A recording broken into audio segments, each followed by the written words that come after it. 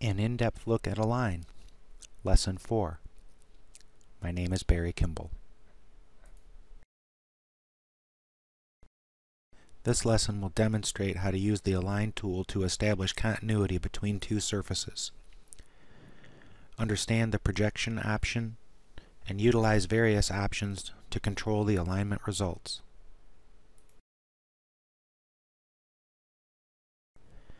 In this lesson we'll discuss using the projection option to achieve continuity between surfaces.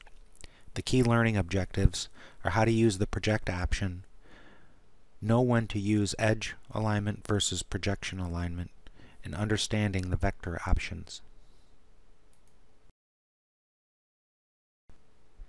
In this lesson we'll begin to discuss the differences between alignment type of edge and project. I'd like to show first the edge projection of this boundary to this trim edge. And we, in previous discussions, we've done a lot of modifications, but to these, these types of edges. In this case, I can't get this to match or to align within any anywhere less than than this value. So my preferred method in, in making these types of, of alignments and gaining this continuity is instead of trying to match to an existing trim edge, which reality is we don't know how smooth that is. I'd like to just match to the face of this surface. So I'm going to revert and untrim this surface. Okay. Now if we try to align it again, and we go to edge type and we select it, we're still aligning to an existing curve on surface. Okay, so we can make any modifications that we want as we'll get the same result. Okay, so what you need to do is delete that curve on surface. What this allows us to do is use the project option. Select the surface we want to modify and just pick on any boundary. Now what's currently shown is a little misleading. There's some vector options. So the software needs to know in what way should it project this edge onto this surface.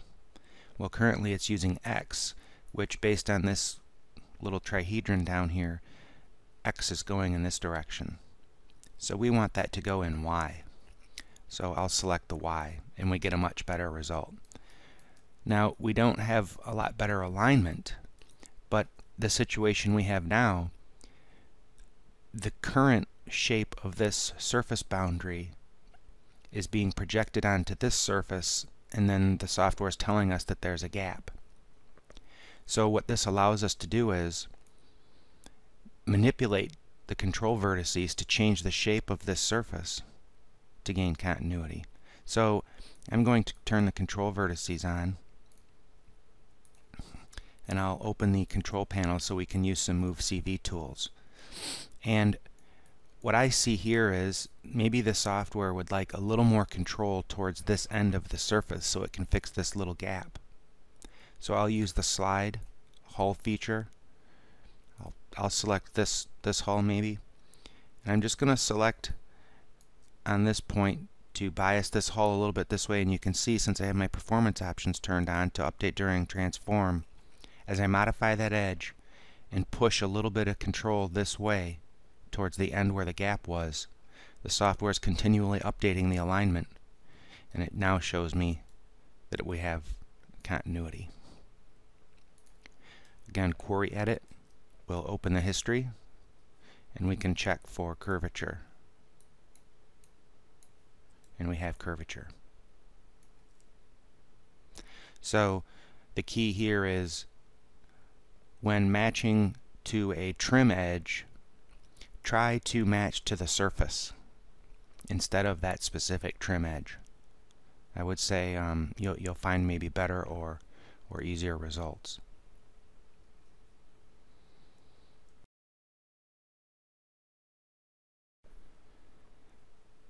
Here I'll demonstrate another design modification that requires the Align tool.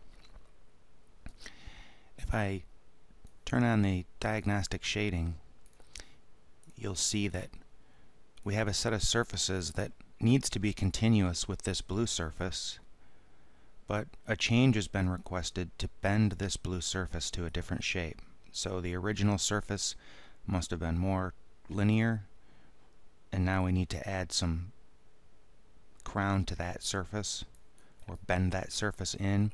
So now we need to rematch all of these surfaces to this new surface. To do that, we'll use the Align Project. So I'm going to turn the shading back off. So to do that, I'll select the boundary to be modified and select the surface that I'd like to match it to. So we get a dashed symbol here, a, a dashed outline to this surface. When you see that, that means that the software can't determine how to, it can't determine a projection direction to get that edge onto the surface. So we need to diagnose that.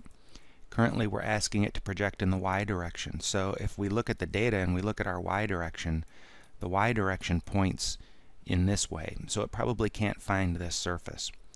So we could tell it maybe z, it still can't find it, or, or x, and maybe in x direction it can't find it. So another option is normal. So that projects these control vertices in the normal direction to match, to get alignment. So it would be the same as projecting this curve onto this surface using normal. Now you don't want to do that because you, for one, it's been incorporated into the align function. So that's an addition for 2010. The other reason you don't want to do that is that once you project the curve onto the surface and then use the edge matching or edge alignment to gain continuity, you're restricted by that position of the curve on surface. So we'd like the align function to always determine, based on the current location of the surface edge, where to project the curve. So if any modifications happen to the surface, the projection gets updated and we're constantly matching to the surface face, not to an edge.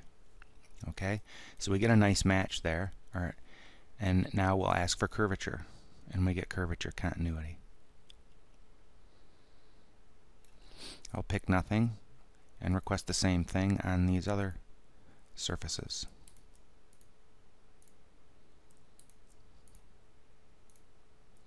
And we gain continuity all the way along.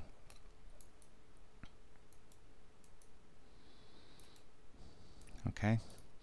Now one last thing we could do, there was a modification that we don't have a surface for, so we need we need to now match this surface up to this new edge. So that's going to be an edge alignment, and we'll uh, match this edge to this edge. We're asking for curvature continuity, and we get a bunch of, of strange errors. I'll slide the positional influence to 1. That matches those CVs right on each other and we get a solid alignment. One thing we could do in addition, maybe this surface is still curvature continuous with some other piece of geometry. We could turn blending on and add one row. That means it's just going to bump this row up just a little bit. If I turn the blending off and back on, you can see it just bumps it up a little and evens out that transition a little bit. So that describes normal projection.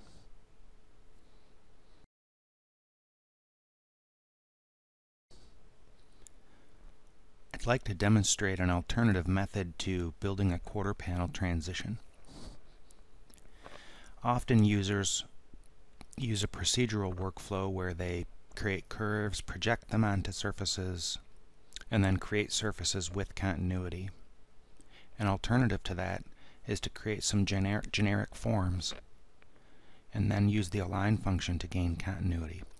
So in this situation, I've created some curves in the side view that are a shape that I want. And I've created some rough surfaces based on those curves just to give me a surface CV network that I can now modify using the align function. So I have already set, I'll use this uh, multi random color tool to show you the number of surfaces that are on the screen.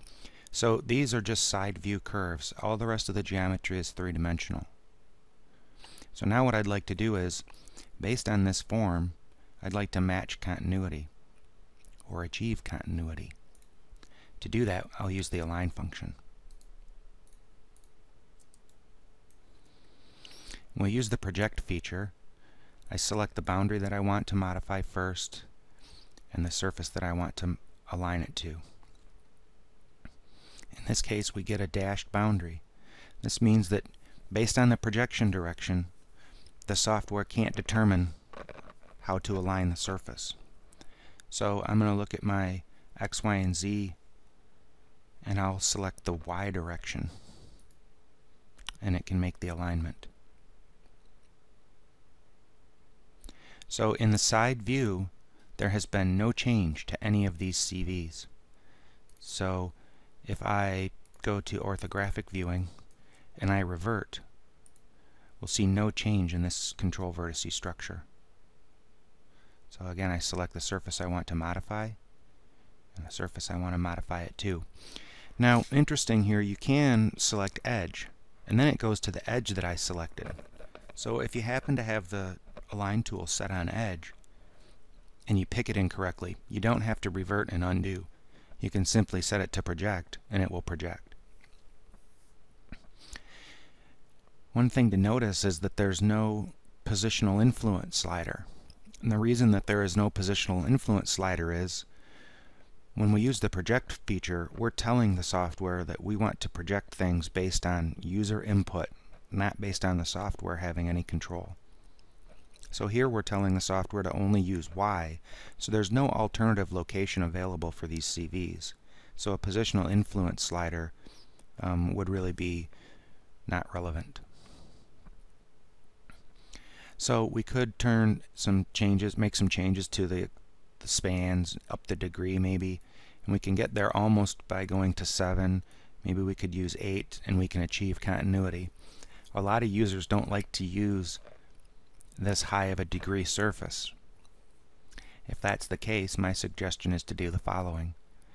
Leave the software at its, at its original, or leave the surface at its original degree, do a pick nothing and we'll use object edit attach detach. And I'll select keep originals. That way I have the main surface always. And I'll have two new pieces. I'll select the go button. And I'll I'll use the alt key on the left mouse button just to snap it to the middle. That looks like a pretty good place. And hit go. And now I can select the larger surface and I'm just going to toggle it invisible. Now, we already have an existing curve on surface. So, as discussed previously, you don't want to try to align to an existing curve on surface. You want you need the align function to control the curve on surface. That way you have a better opportunity to get within the proper tolerance. So I'll delete that curve on surface, object edit the align function and I'll ask to align this edge to this surface. And we'll do the same here. You can see that now we have continuity.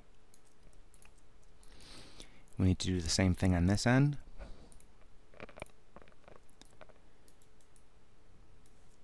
We could try normal. It's a long ways away. So you can see that by using normal now we've we've changed this relationship if we look at it from the side view, those used to line up. So I'm going to go to the Y for this one also. Okay, and the same thing.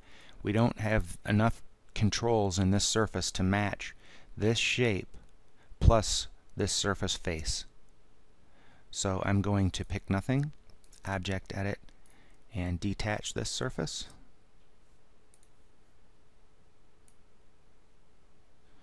And maybe I'll pick, I don't know, we can use the Alt key, puts it there. That's probably okay. Select this surface, and I'll toggle it invisible. Delete the curves on surface, and we'll align this side.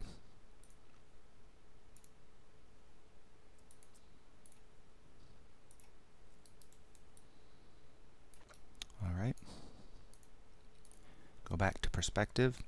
I'm going to quickly check some other continuity. So evaluate surface continuity and let's check these boundaries. And everything's curvature. We'll do a little trim on this surface. To do that we need a small curve on surface here. So I will curve, create a new curve on surface. Control key snaps here and I'll just drag a curve on surface there. And I'll trim both of these surfaces. We'll delete the locators and turn our shading on. And now we have a nice quarter transition.